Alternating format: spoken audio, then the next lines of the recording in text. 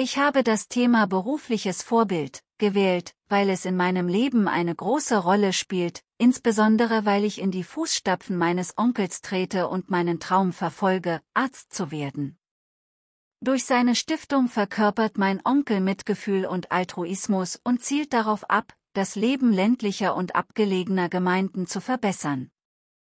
Seine unermüdlichen Bemühungen haben über 2,7 Millionen Menschen aus wirtschaftlich benachteiligten Verhältnissen das Sehvermögen zurückgegeben und mehr als 3000 Kindern auf dem Land kostenlose Bildung ermöglicht.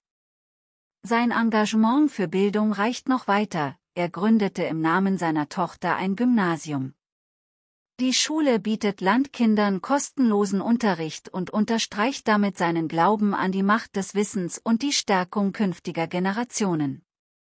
Mein Onkel zeichnet sich durch seine Philanthropie und sein direktes Engagement in der Katastrophenhilfe aus.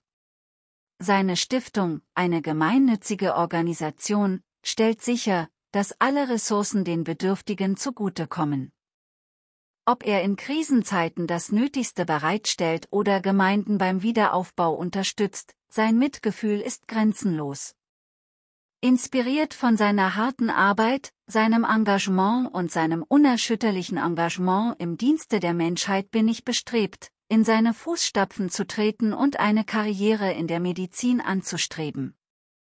Mein Ziel ist es nicht nur, den weniger glücklichen medizinische Versorgung zu bieten, sondern auch kostenlose Gesundheitskampagnen für diejenigen durchzuführen, die sich Krankenhausbesuche nicht leisten können.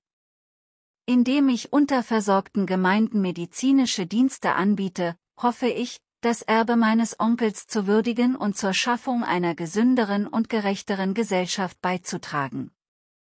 Damit komme ich zum Ende meiner Präsentation und bedanke mich bei Ihnen ganz herzlich für Ihre Aufmerksamkeit. Ich hoffe, dass ich Ihnen ein paar spannende Einblick geben konnte.